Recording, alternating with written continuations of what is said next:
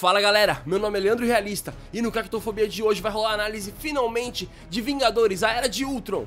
Esse vídeo é mais uma parceria com o site HC no ar e com o canal Central HQs do Fernando. Aliás, rolou uma prévia do filme lá, vai ter o link aqui na descrição pra vocês e aqui do lado. Bom, Vingadores Era de Ultron. Pra mim, o melhor filme da Marvel disparado junto com Capitão América 2 e Guardiões da Galáxia. Ele é maior em tudo em relação ao primeiro Vingadores, em proporção, em ameaça, em roteiro, em ambição e em tempo de duração. O filme dura 2 horas e 40. Bom, o filme começa com os Vingadores recuperando o cetro do Loki, e o Tony Stark, junto com o Bruce Banner, começam a estudar a tecnologia por trás daquele cetro. E eles acabam criando o Ultron, uma inteligência artificial que tem como principal objetivo a paz mundial. Try to create a suit of armor around the world. But I created something terrible.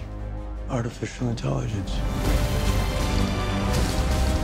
It's called the Ultron program. Só que aí começa o problema. O Ultron chega na conclusão de que, para se obter a paz mundial, ele teria que exterminar a humanidade, que é o principal problema do mundo. Esse é basicamente o resumo da trama. E eu vou confessar para vocês que eu tinha medo desse vilão, porque eu não achei que eles fossem conseguir sustentar o filme inteiro em cima desse vilão. Eu nunca fui muito fã do Ultron nas HQs, e muita gente nem conhece ele. Mas a maneira como eles introduzem e como eles desenvolvem o personagem gera um perigo enorme, de proporções muito maiores do que do primeiro filme. Então o maior mérito deles é conseguir conduzir essa trama de maneira que te prende do começo ao fim, observando o desenvolvimento dessa inteligência artificial e como ela cresce em relação à ameaça durante todo o filme. Não temos a apresentação de nenhum herói novo no filme, temos alguns heróis que não aparecem nos trailers, realmente, mas herói novo apresentado fora, o Visão, a Feiticeira Escarlate e o Mercúrio nós não temos. E na sessão que eu vi, não teve uma cena pós-créditos, teve uma cena durante os créditos que faz uma ligação direta com Vingadores 3, não com Guerra Civil. Bom, falando do desenvolvimento de cada personagem, eles conseguiram conduzir a trama de uma maneira incrível e cada personagem se tornou extremamente interessante dentro desse universo da Marvel. Cada um dos Vingadores tem a sua história extremamente bem desenvolvida durante esse filme. Claro, aqueles sem o filme solo, como Capitão América e como Homem de Ferro.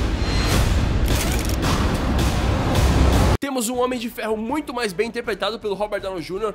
Eu diria que é o melhor papel dele como Homem de Ferro disparado, porque ele começa a mostrar as incertezas e inseguranças do Homem de Ferro dos quadrinhos. Porque o que acontece? Nas histórias da Marvel no cinema, o Homem de Ferro sempre foi muito seguro de si e de suas atitudes.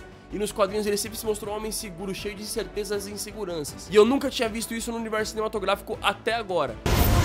I'm sick of watching people pay for our mistakes. Isn't why we fight so we can end the fight and go home? Temos o Capitão América no melhor papel dele também, assumindo o manto de líder dos Vingadores, batendo no peito e chamando a responsabilidade pra cima de si, e muito mais incisivo em suas ações. É o Capitão América muito mais próximo dos Supremos do que aquele Capitão América coxinha do primeiro filme dos Vingadores. Temos o Thor, uma participação muito importante pra trama do filme, ele aparece menos do que no primeiro Vingadores, só que as atitudes dele influenciam diretamente no desenvolver da história. E temos o relacionamento entre a Viúva Negra e o Hulk, que ele é apresentado pra gente no começo do filme e é desenvolvido durante toda a trama, crescendo e amadurecendo junto com a história. Ficou muito interessante ver essa relação entre esses dois personagens.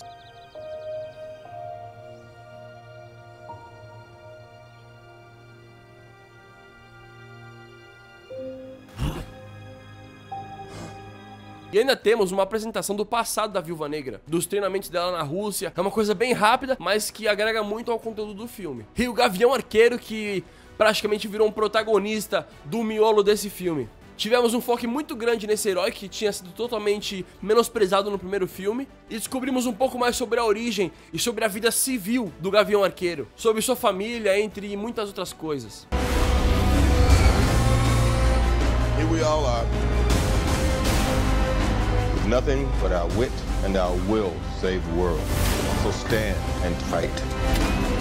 E aí caímos nos três novos Vingadores, começando pelo Mercúrio, que tem uma participação pontual, mas que funciona muito bem dentro da trama, dentro das cenas de ação. Ele é um personagem bem engraçado, mas que não se compara ao Mercúrio de X-Men Dias de um Futuro Esquecido. E agora eu vou falar dos meus dois personagens favoritos desse filme disparado, começando pela Feiticeira Escarlate. Eu não tinha gostado muito da atriz, vou ser sincero, mas a maneira como eles introduziram ela, a movimentação dela que é totalmente diferente de todos os heróis, e esse miticismo que eles introduziram nesse filme, tornou ela uma das personagens mais legais e vai ser a favorita de muita gente, eu tenho certeza. Ela introduzir um lado meio sombrio, que eu acho que vai ser muito bem explorado no próximo filme do Doutor Estranho. E a movimentação dela é meio travada, meio de filme de terror. Você sente o perigo, você sente que ela é uma bruxa mesmo. Eles conseguiram construir muito bem a personagem. E agora a melhor coisa que o Ultron fez nesse filme, o Visão.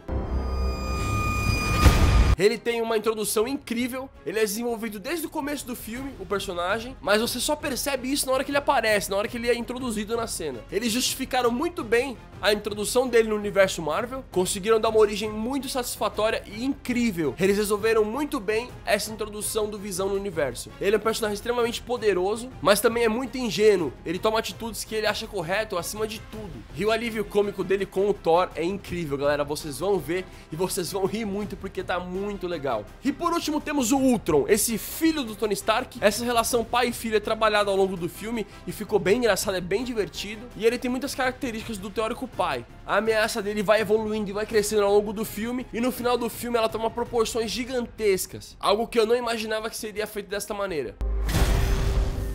I'll take that from them first. Tinha muita gente dizendo que seria um filme mais sombrio, meio Christopher Nolan, mas não, cara, não é um filme mais sombrio, ele é simplesmente um filme mais sério. Porque como os Vingadores já foram introduzidos, você pode explorar muito mais o roteiro e criar uma trama muito melhor. Mas a constância de alívios cômicos durante toda a trama não deixa ele ser um filme sombrio. A finalização desse filme é impecável, é incrível, é tudo muito maior e muito melhor finalizado do que o primeiro filme principalmente o 3D do Hulk. Você consegue ver as feições do Mark Ruffalo no rosto do Hulk. A briga do final é enorme, é monstruosa. A briga do Hulk com a Hulkbuster é incrível. Don't mention Puny Banner.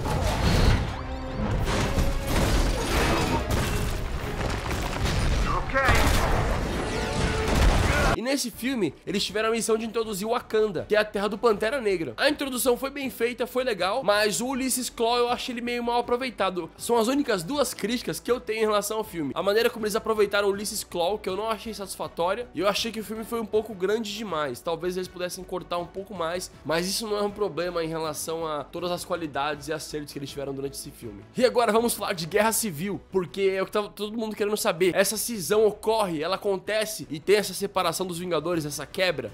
Bom, nesse filme não. Eles mostram os motivos desse enfraquecimento da equipe, mas a cisão mesmo não ocorre nesse filme. Eles vão deixar para introduzir isso no próximo filme, que é o do Capitão América Guerra Civil. Bom, galera, não perca tempo, vá correndo pro cinema porque esse filme é incrível. Se você gosta de Marvel, se você gosta de um roteiro bem escrito, de personagens bem desenvolvidos, assista esse filme porque ele é muito divertido, ele é muito bem escrito e roteirizado. E eu achei que o equilíbrio entre humor, comédia e ação foi muito bem dosado.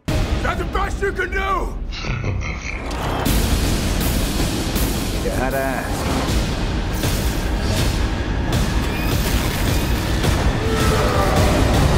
É isso aí, galera. Eu espero que vocês tenham curtido esse vídeo. Se vocês não sabem ainda, eu tô com um projeto com o canal Central HQs, no qual vão ser três vídeos. O primeiro foi lançado no canal do Fernando, vocês podem conferir clicando aqui. E todos os links vão estar na descrição também. O segundo é esse vídeo aqui que vocês estão assistindo agora, que é a crítica do Vingadores 2. E o terceiro vai rolar logo menos. E nós vamos falar sobre as principais HQs para você que curtiu o filme e quer continuar acompanhando o grupo nas histórias em quadrinho. Se inscreva no canal para estar tá sempre recebendo nossas novidades. Os últimos vídeos estão aqui do meu lado. Deixa um like aqui embaixo porque é muito importante para divulgação do vídeo. E agora é só aguardar porque esse ano tem muita coisa boa no cinema, galera.